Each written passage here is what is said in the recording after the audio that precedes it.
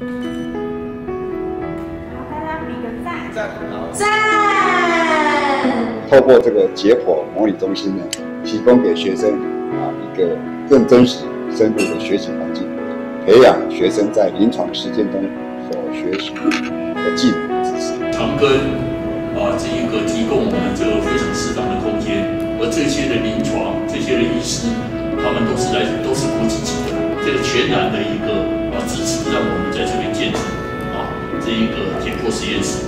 那我想我们基本上会把这一个环境跟设备，希望能够装设好。